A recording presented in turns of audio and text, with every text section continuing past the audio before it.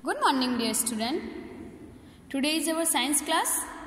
Today we are going to start our last chapter from our book, lesson 14, Our Environment.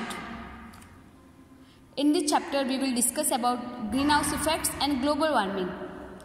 The surrounding in which we live is our environment. अपने जो चारों ओर का है वो environment होता है Human beings have made several change in the environment to suit their needs.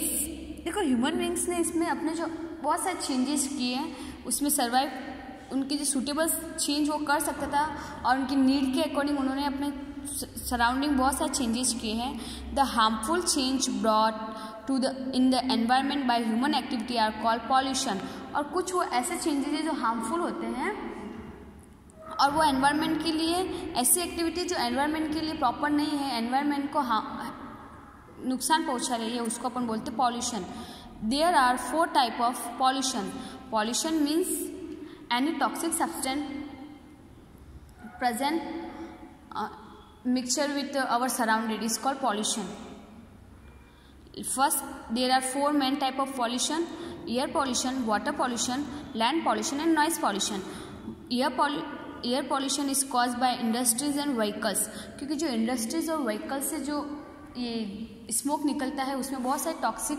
सस्टेंट toxic gases होती है जो अपनी जो अराउंड ईयर है, उसको पॉल्यूट कर रही है। तो वो होता है air pollution air pollution is cause by industrial vehicles water pollution cause by release of household and industrial waste into water body जो इंडस्ट्रियल वेस्ट होता है, उसमें बहुत सारे केमिकल सब्सटेंस होते हैं। जब उसको वाटर बॉडी में डायरेक्ट रिलीज़ किया जाता है विदाउट ट्रीटमेंट के तो वो क्या करते हैं? जो टॉक्सिक सब्सटेंस वो वाटर बॉडी में मिल जाते हैं और वाटर को गंदा कर लेते हैं। इससे वाटर पूरा पॉल्यूशन वाटर पॉल्यूट हो जाता है, जो एक्वेटिक एनिमल्स के लिए बहुत ज़्यादा हार्मफुल होता है। Land pollution is caused by dumping of solids waste like polythene bags and glass bottles in the soils. Soils में किसी सब्सटेंट का मिल जाना टॉक्सिक सब्सटेंट का या ऐसे सब्सटेंट का जिसका डिकम्पोजिशन नहीं हो पाता है लाइक प्लास्टिक तो उससे क्या होता है? Land pollution land pollution is cause by dumping of solid waste solid waste solid waste like polythene bags and glass बोतल and in the soil next noise pollution is cause by loud noise of machines and vehicles जो DJ VJ का जो sounds होता है, उससे noise pollution होता है. The all pollution is not good for our health. Many diseases cause from this pollution. Look the picture below and identify the kind of pollution. First, जो ये smoke निकल रहा है इंडस्ट्री स्मोक की बहुत इसमें बहुत सारे टॉक्सिक सब्सटेंस मिलते हैं। तो ये स्मोक ईयर में जाके मिलते हैं तो इसका क्या होगा? ईयर पॉल्यूशन जो ये वाटर बॉडीज में कचरा फेंकने से क्या हो जाता है? वाटर बॉडी पूरी पॉल्यूट हो रही है तो ये होगा वाटर पॉल्यूशन सॉइल पॉल्यूशन है this is the noise pollution now greenhouse effect देखो ग्रीन हाउस इफ़ेक्ट क्या होता है? A greenhouse is a house made of glass that is use for growing plant in the winter देखो, एक glass एक कांच का एक घर जैसा होता है वो एक ग्रीन हाउस होता है। ग्रीन हाउस में क्या करता है? जो कांच होता है, वो क्या करता है? लाइट को एंटर तो होने देता है, पर लाइट को रिफ्लेक्ट नहीं करता। तो विंटर में क्या होता है? जो प्लांट्स को ग्रो करने के लिए उनको गर्मी की ज़रूरत होती है तो जो सनलाइट उसके एंटर करेगी, वो वापस रिफ्लेक्ट नहीं होगी। तो जो उस हाउस के अंदर का एनवायरनमेंट होता है, वो क्या रहता है? वार्म रहता है, जो कि प्लांट की ग्रोथ के लिए फेवरेबल होता है। A greenhouse is a house made of glass that is use for growing plants in winter the glass wall of greenhouse allow sunlight to enter but do not allow heat to escape देखो allow तो कर sunlight को अंदर आने देगी, पर उसको बाहर नहीं जाने देती वापस तो वो सनलाइट अंदर ही रहती है और अंदर का जो इन्वायरमेंट होता है उसको गर्म करता है।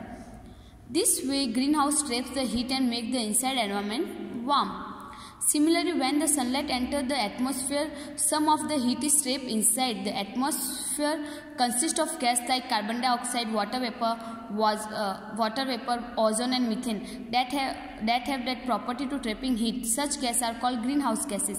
तो कुछ तो देखो ये जो ग्रीन हाउस इफ़ेक्ट है वो अपना एनवायरनमेंट भी होता है जब एनवायरनमेंट में सनलाइट एंटर करती है तो कुछ ऐसे ऐसे गैसेज होती हैं जो हीट को ट्रेप करती है गर्मी को बढ़ाती है तो जो सनलाइट आती है, उसको वापस रिफ्लेक्ट नहीं होने देती, इससे गर्मी, क्या होता है बाहर की गर्मी बढ़ती है तो ऐसी गैसेस कौन कौन सी हैं? The atmosphere consist of gases like carbon dioxide water vapour ozone and methane that have the property of trapping heat such gas are called greenhouse gas this gas do not allow heat to escape into the space thereby warming the atmosphere इससे क्या होता है? ये वापस नहीं जाने देती sunlight को, इससे एटमोसफेयर क्या हो जाता है? वार्मिंग हो जाता है। This is called greenhouse effect और इसको कौन सा इफ़ेक्ट बोलते हैं? ग्रीन हाउस इफ़ेक्ट देखो ग्रीन हाउस इफ़ेक्ट क्या होगा? By the greenhouse gases trapping the heat and making environment warm is called greenhouse effect without the greenhouse effect the earth would be very cold place for existence extension of life देखो, अगर greenhouse effect नहीं होगा तो जो अर्थ होगी वो पूरी बहुत ठंडी बन जाएगी, जहाँ पे लाइफ सर्वाइव करना पॉसिबल नहीं होगा। Human activity like burning of fossil fuels deforestation and use of chlorofluorocarbon chlorofluorocarbon जो अपने रेफ्रिजरेटर होता है फ्रीज उसमें कौन सी गैस यूज़ की जाती है? C F C chlorofluorocarbon in the air conditioner and the refrigerator are increasing the concentration of greenhouses gas in the atmosphere leading to global warming देखो, बच्चों, इस बार जो इस बार नहीं, जो ज़्यादा गर्मी का रीज़न होता है वो ये होता है, क्योंकि जो ह्यूमन ह्यूमन की बहुत सारी एक्टिविटी है, जो मैन मेड मशीन्स होती है, उसमें सीएफसी की बहुत ज़्यादा कंसनट्रेशन है। सी बहुत ज़्यादा बढ़ा हुआ है एटमोसफेयर लीडिंग तो जो ये उन गैसों का कंसनट्रेशन बढ़ना है एटमोसफेयर में तो इससे क्या होती है, ज़्यादा वो हीट को ज़्यादा ट्रिप करते हैं और एनवायरनमेंट को ज़्यादा गर्म बनाते हैं, उसको अपन तो ये सारी क्या करते हैं ग्लोबल वार्मिंग को लीड कर रही है। Globe global warming, more greenhouse gases in the atmosphere trap more heat.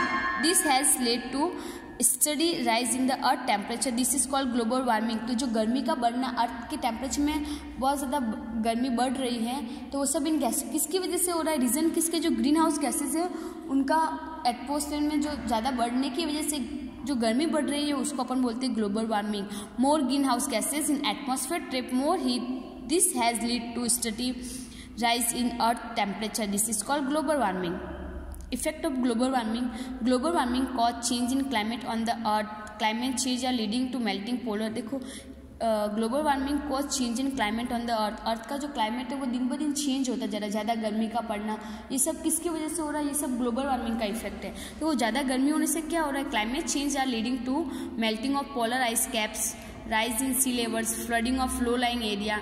There may be drastic change due to global warming in the climate of place leading to extinction of some plant and animal in the long term.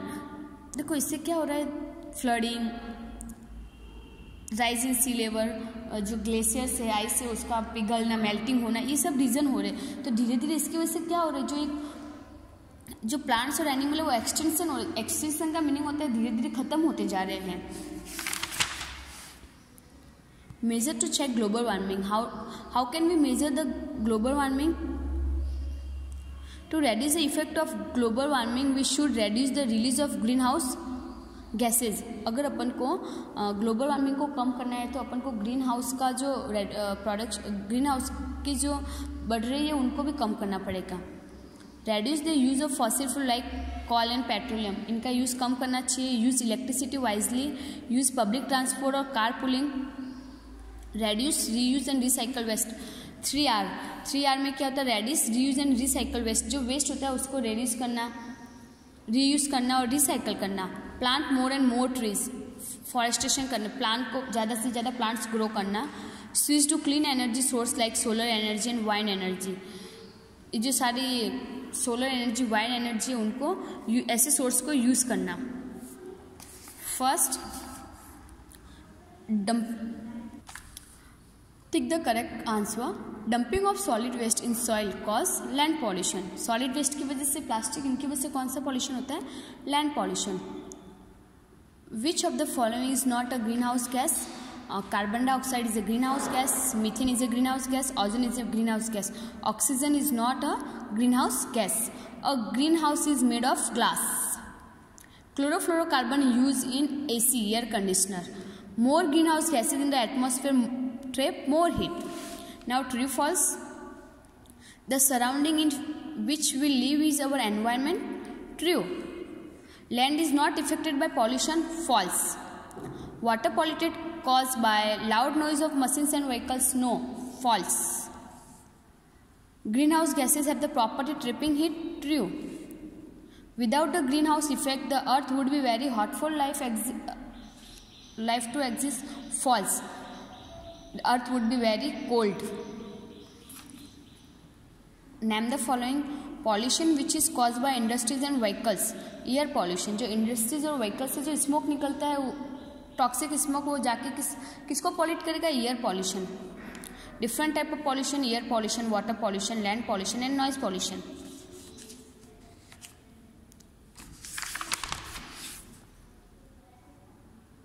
the walls of greenhouse is made of glass.